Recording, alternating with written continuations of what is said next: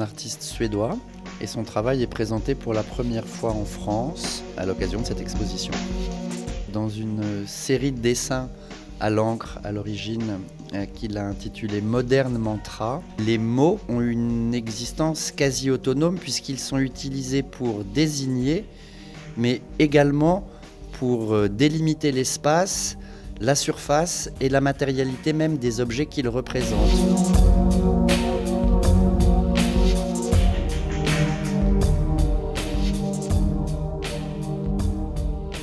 Ces dessins représentent des pièces domestiques assez luxueuses, artificielles, vides, et qui ressemblent un peu à ces décors qu'on trouve sur certains jeux vidéo. On a vraiment le sentiment d'un espace virtuellement généré.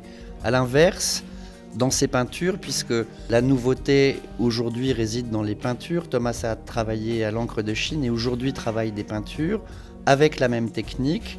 Des espaces en revanche complètement différents, des lieux toujours clos, sombres, des lieux de rencontre, des lieux publics, des théâtres, des salles de cinéma, avec généralement une ou deux lumières euh, que, je qualifierais d'éblouissantes.